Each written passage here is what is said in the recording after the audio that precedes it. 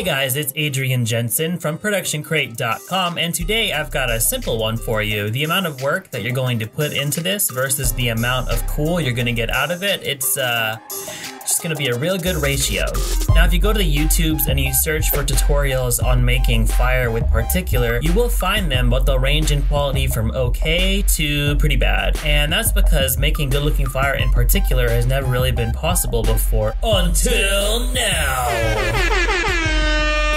Actually, it's always been possible, they just do it wrong. Really, what you need is some stock footage to start with. On Footage Crate, let's navigate to the Fire and Spark section. These are what we want, these fireballs here. To start off, I'm just gonna pick one and download it, Fireball number three. In After Effects, we need to prep this to be used as a sprite in particular. I recommend decreasing the resolution. I'm gonna change it to 400 by 400 pixels. You'll also want to move it so the fire starts in the middle of this comp and shrink it enough so that it doesn't touch the edges. This is our sprite. In a new full HD comp, we'll add a solid with particular applied and a new light, which we're going to name emitter with a capital E. You can keyframe the emitter, I'm just gonna move it with a wiggle expression. Drop in the particle comp and in particular, change the particle type to a sprite and tell it to use our fire sprite as the texture. For the time sampling, I recommend random play once, but you could also use start at birth play once or start at birth stretch depending on the look you're going for. I also recommend giving these a lighten transfer mode as screen and add can get real bright real quick and that's not necessarily a good thing. Now, in creating an organic looking effect like this, randomness is key, but restraint is, uh, it's, it's the other key. Okay, I'm not great at metaphors. So when we go to turn up the rotation random of these particles, I want you to resist the urge to turn it up to 100. I'm going to go with maybe 10 or 15. This way, the fire won't all be exactly the same, but it's still all going to be traveling up as fire tends to do. In the physics section, you can add some negative gravity and some turbulence as well if you feel like you need them. If your colors are getting a bit out of control, you can go to your sprite comp and add in a slight tint to help tone down those yellows. After that, I'm just gonna add some glow and guess what? That's it.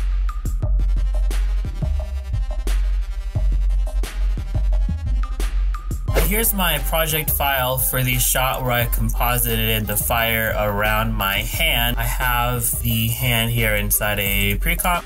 Okay, and so I actually have just the hand here. It's actually a green screen element. I shot it separately. You probably couldn't tell because my acting is so good. And then here's my particular layer. And as you can see, it has a suspiciously hand-shaped hole cut right out of the middle of it, but it also overlaps. The way that I did that is extremely easy. You just go into the particular plugin, come down to visibility, and there's this option here called obscuration layer. And if I turn that off, you'll see that my layering is no longer working. But if I turn that on and select my keyed hand layer, I have that hand obscuring the particles. It does make your edges kind of chunky. It doesn't really deal with partially transparent pixels very well, so that's just something to be aware of that you're going to compensate for. But in my final composition, I've added some extra glow on top, which does a pretty good job of covering those edges back up anyway, so that was okay. This obscuration layer has to be a 3D layer, so I do have my 3D switch checked on for the hand, and then I have a null in the same spot as the hand and it's kind of tracked to the hand. And I have my emitter, which is moving independently, but it's parented to that null and I have the null spinning around. So my emitter is in 3D space and my hand exists in real 3D space as well, which makes it so that when the emitter spins around, it actually goes in front of and behind the hand. Oh, and by the way, here's how I did the lighting.